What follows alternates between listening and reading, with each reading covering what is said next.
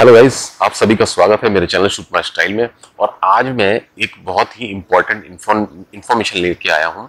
Information क्या है? Basically ये मार्केट में जो कहते हैं ना कि भ्रम चलते रहते हैं। मतलब हम आस्था के नाम पे अपने आप को लुटवाना चालू कर देते हैं। अगर हम बात करें आस्था की, भगवान के प्रति आस्था। भगवान के प्रति आस्था रखना बहुत अच्छी बात है। रखनी भी चाहिए, भगवान की पूजा करनी चाहिए। आपका जितने बार मन करता है, उतने बार भगवान की पूजा करिए।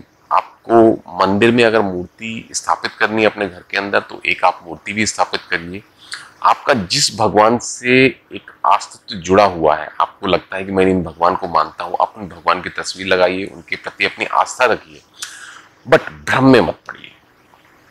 अभी हो कह रहा है, हिंदुस्तान के अंदर बहुत सारे चैनल्स आप देखेंगे, टीवी पर आते रहते हैं कि ये एक दैविक यंत्र है इस यंत्र को आप अपने जीवन में अगर अपना लेंगे तो आपकी जो जीवन है आपका, वो समृद्ध हो जाएगा, खुशहाली भरा हो जाएगा। जब से मैंने ये यंत्र लिया है, तब से मेरी ज़िंदगी जो है, वो खुशहाल हो गई है। घर में पैसा आने लगा है, लड़के की शादी हो गई है बीबी खुश रहने लगी है, घर में परेशानियाँ नहीं आने लगी हैं। ये जितनी भी चीज़ें हैं ना, ये सब सब बेवकूफ़ी है, सब बेवकूफ़ी ये जितने भी चैनल है ना, जो इस तरीके से चीज़ों को चला रहे हैं और आप लोगों को दिखाते हैं और और स्टाइल क्या होता है? कि ये दैविक यंत्र है, ये एक जैविक यंत्र है, या फिर ये एक समृद्धि यंत्र है, और होगा कुछ नहीं, खोपचे में। या तो वो छोटा सा पीतल का कोई बर्तन होगा, या फिर उस पर बनी हुई कोई भगवान की मूर्ति इस तरीके से होगी। बट उस पर क्या है, भगवान की मूर्ति बनाना गलत नहीं है। उसको जो कम्युनिकेट किया जा रहा है कि ये एक ऐसा जैविक यंत्र है, जो आपकी जीवन में खुशहाली ला देगा। अब एक घंटा अगर तुम्हारी ज़िंदगी में ये जैविक यंत्र खुशहाली ला देता तो भी तुम्हें नौकरी करने की ज़रूरत ही नहीं पड़ती। तुम्हें नौकरी करने की ज़रूरत ही नहीं पड़ती, तुम्हें तुम्हारा, ये जैविक यंत्र तुम्हारा एक अकाउंट खुलवा देता अपने आप, और जिसमें करोड़ों की संपत्ति होती। अगर ऐसे जैविक यंत्र आपके जीवन में खुशहाली ला देते तो सड़क पे बैठा भिखारी भीख क्यों मांग रहा होता? क्योंकि मैं मानता हूँ हर एक इंसान के पास इतना पैसा तो है कि वो जैविक यंत्र खरीद सकता है।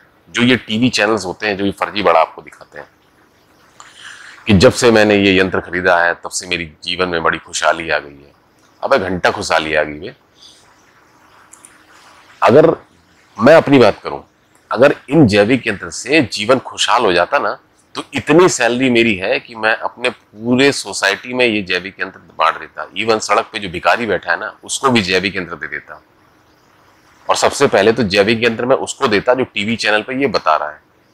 क्योंकि उसके, उसको भी सैलरी चाहिए महीने की। तभी तो वो बेवकूफ़ों की तरह आके टीवी चैनल पे बता रहा है कि ये जैविक यंत्र ले लो। इससे जीवन खुशहाल हो जाएगा, क्योंकि उसको उतना बोलने से उसको महीने की सैलरी मिल रही है। तो मैं सबसे पहले जैविक यंत्र उसी को खरीद के दे देता कि भैया ये ले, जैविक यंत्र तेरी ज़िंदगी में आ गया अब आज के बाद तुझे तो टीवी पे आने की ज़रूरत नहीं है, इतना चिल्लाने की ज़रूरत नहीं है और तेरी ज़िंदगी खुशहाल हो गई। क्योंकि बड़ा बड़ा वो मैं क्या, नोटंकी होती है टीवी चैनल पे। होती क्या है?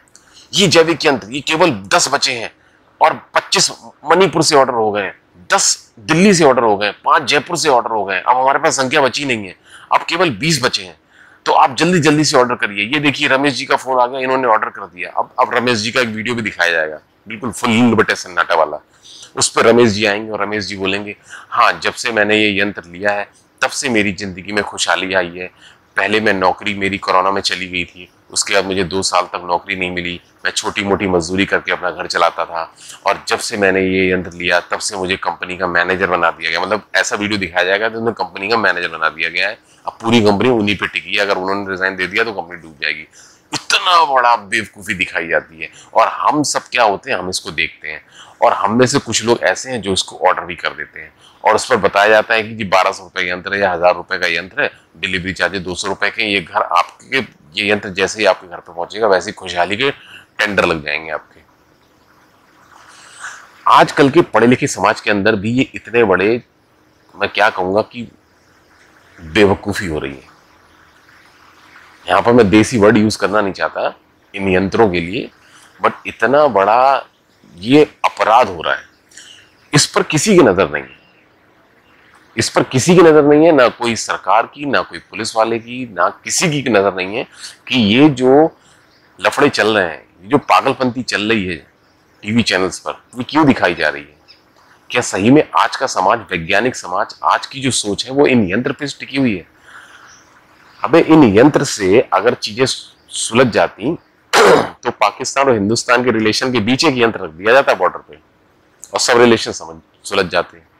यूक्रेन और रशिया का जो युद्ध चल रहा है ना, उनके भी बॉर्डर पे ये यंत्र रख दिया जाता है, और दोनों लोग भाई भाई मिलके, दोनों राष्ट्रपति भाई भाई मिलके गले लगा लेते आपस में। और अगर ये यंत्र सही में आपके जीवन में खुशहाली ला देता तो आप मेरा वीडियो क्यों देख रहे होते? उस यंत्र को आपके घर में होता और मस्त खुशहाली होती। तो इन सब लफड़ों में बिल्कुल फंसी। ये पूरी तरीके से बेवकूफ़ी है। किसी यंत्र से कुछ नहीं होता लाइफ में। जो कुछ होता है वो मेहनत करने से होता है। आपकी जेब के अंदर पैसा, खुशहाली, तभी आएगी जब आप मेहनत करोगे। इसलिए इस तरीके के टीवी चैनल्स पर दिखाए जाने वाले एड्स के लफड़ों में बिल्कुल मत फंसो। कोई भी यंत्र आपके जीवन में खुशहाली नहीं ला सकता है। और अगर आपको कोई बोलता है कि हाँ खुशहाली ला सकता है। तो एक बार मेरे को ज़रूर मिलवा मैं कान के नीचे ऐसा लगाऊँगा, पूरी खुशहाली जो है ना, वो कच्चे से गीली होती है नीचे ज़मीन पे गिरेगी। आज की वीडियो बस इतना ही। मिलते हैं फिर अपने अगले वीडियो में। तब तक टाटा बाय बाय नमस्कार।